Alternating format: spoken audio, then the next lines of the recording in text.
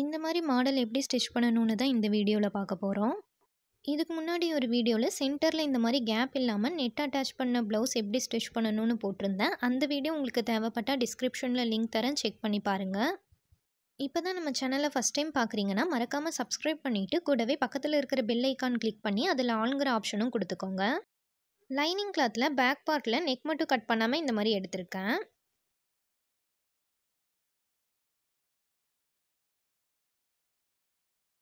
Lining கிளாத்தில் சென்டரில் notch போட்டிருக்கேன். அதே மாதிரி மெயின் ஃபேப்ரிக்லேயும் இந்த டிசைனோட சென்டரை மார்க் பண்ணிக்கோங்க. இந்த கிளாத்துக்கு மேலே லைனிங் கிளாத்தை ரெண்டு சென்டரும் ஒன்றா வர மாதிரி ப்ளேஸ் பண்ணிக்கோங்க.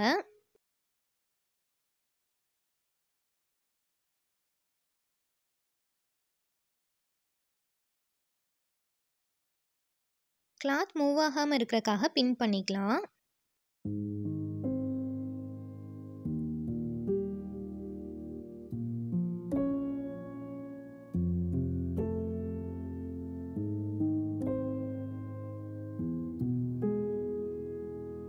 பின் பண்ணி நீட்டாக செக்யூர் பண்ணியாச்சு. இப்போ இதோட பேக் சைடில் டேர்ன் பண்ணிக்கலாம்.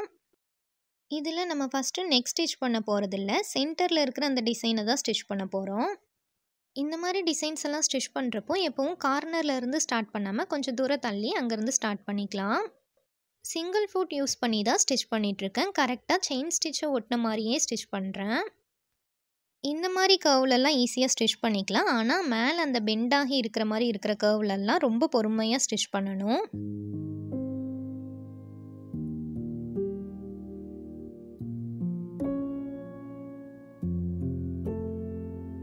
கார்னரில் நீடில் இறக்கிட்டு ஃபூட் மேலே எடுத்துட்டு நம்ம டேர்ன் பண்ணிவிட்டு அதுக்கப்புறம் ஸ்டார்ட் பண்ணலாம்.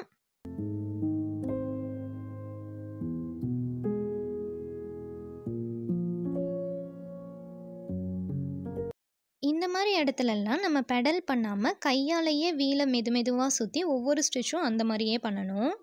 பீட்ஸ் இருக்கிற இடத்துலலாம் லைட்டாக ஃபூட்டை மேலே இருக்கிற மாதிரி வச்சே ஸ்டிச் பண்ணணும். இல்லாட்டி அதோட ப்ரெஷரில் நமக்கு பீட்ஸ் எல்லாம் உடஞ்சிரும்.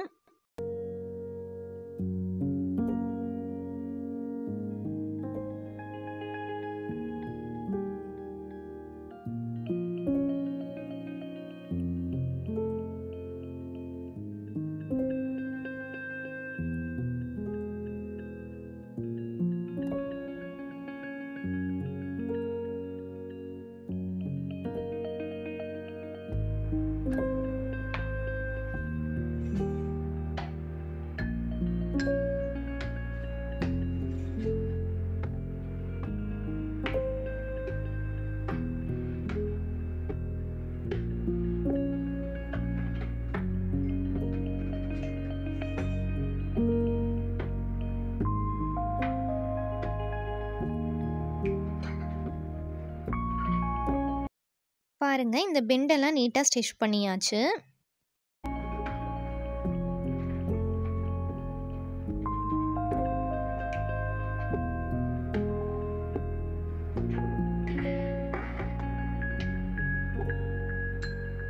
சென்டரில் இருக்கிற கிளாத்தை கட் பண்ணி எடுத்துடலாம்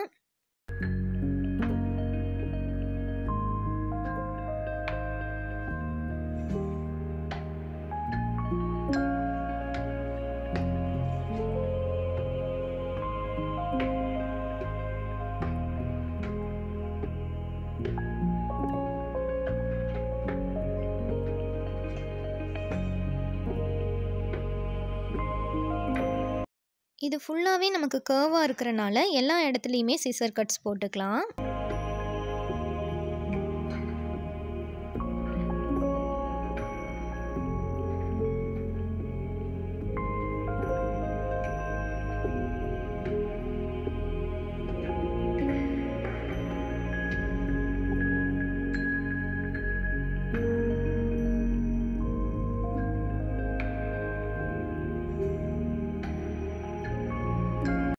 லைனிங் கிளாத்தை இந்த ஹோல்ஸ்குள்ளே விட்டு பேக் சைடில் கொண்டு போய்க்கலாம்.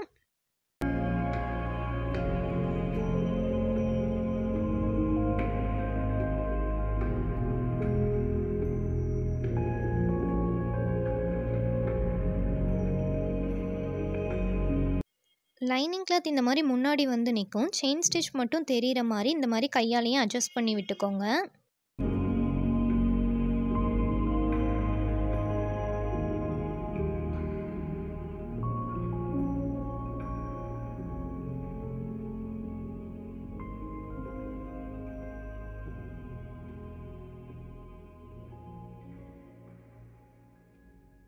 லைனிங் கிளாத் வெளியே வராமல் இருக்கிறக்காக இந்த செயின் ஸ்டிச் மேலே ஸ்டிச் பண்ணிடலாம்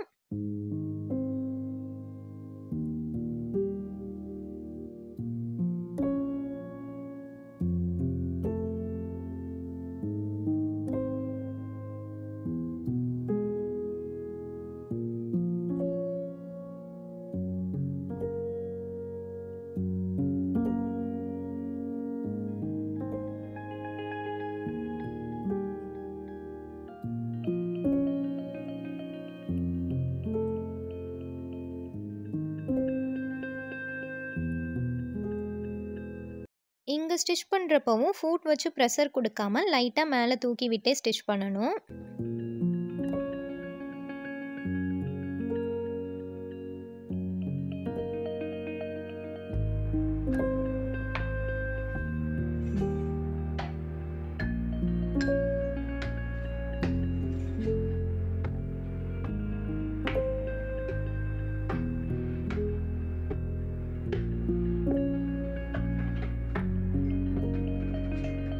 இங்கெல்லாம் ஸ்டிச் பண்ணுறதுக்கு கஷ்டமாக இருந்தால் நான் முதல்ல சொன்ன மாதிரி வீலை கையாலேயே சுற்றி விட்டு மெது மெதுவாக ஸ்டிச் பண்ணுங்கள் அந்த மாதிரி பண்ணுறப்போ கண்டிப்பாக கரெக்டாக ஸ்டிச் பண்ண முடியும்.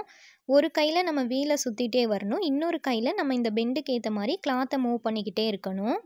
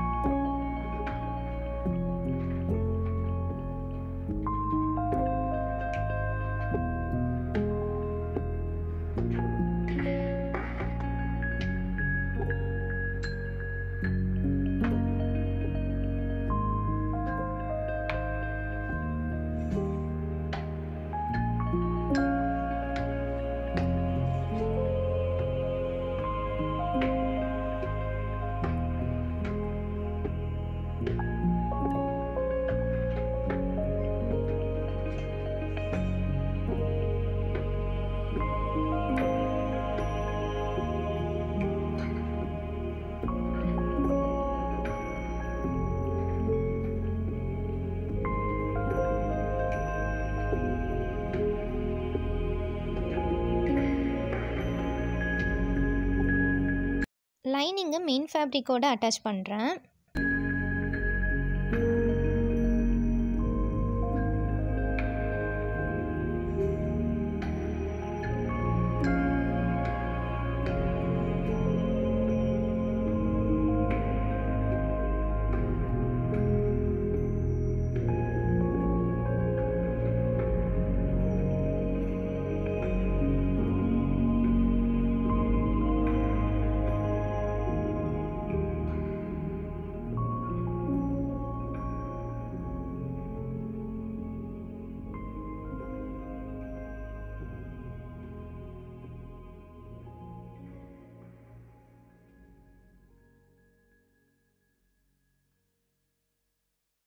நெக்ஸ்ட் இந்த நெக்கை எப்படி ஃபினிஷ் பண்ணணும்னு பார்ப்போம்.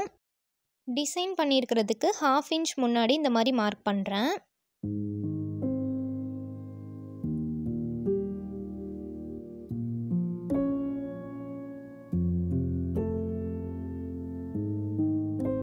மார்க்கிங் மேலேயே ஸ்டிச் பண்ணுறேன்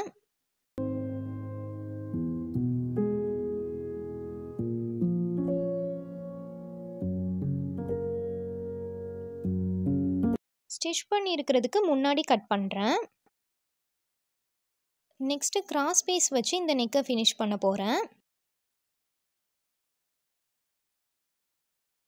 கிராஸ் பீஸை நெக்கோட கார்னரில் இந்த மாதிரி வச்சுட்டு கரெக்டாக அந்த செயின் ஸ்டிச்சை ஒட்டின மாதிரியே ஸ்டிச் பண்ணிக்கலாம்.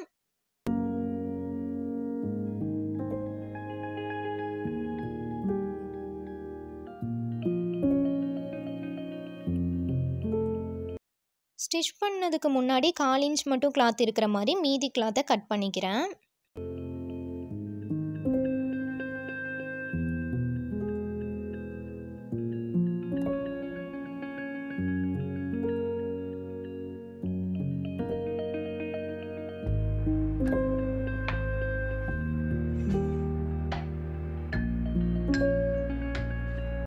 சிசர் கட்ஸ் போட்டதுக்கப்புறம் இந்த கிராஸ் பீஸை கால் இன்ச் மட்டும் வர மாதிரி இந்த மாதிரி பேக் சைடில் கொண்டு போய்க்கலாம்.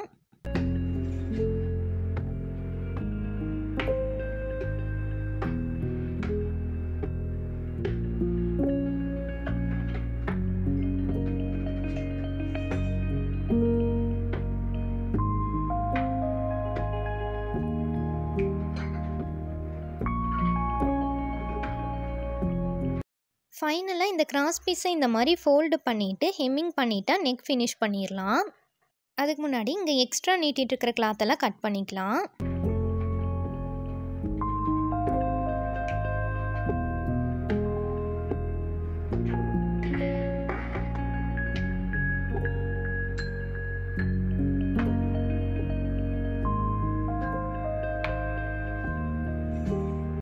கிளாத்தை இந்த மாதிரி ஃபோல்டு பண்ணிவிட்டு ஹெம்மிங் பண்ணிடலாம். ஹெம்மிங் பண்ணுறது வெளியே தெரியாமல் இருக்கணும். அதனால் லைனிங்கில் மட்டும்தான் நீடில் இறக்குறேன். மெயின் ஃபேப்ரிக்கில் வரக்கூடாது.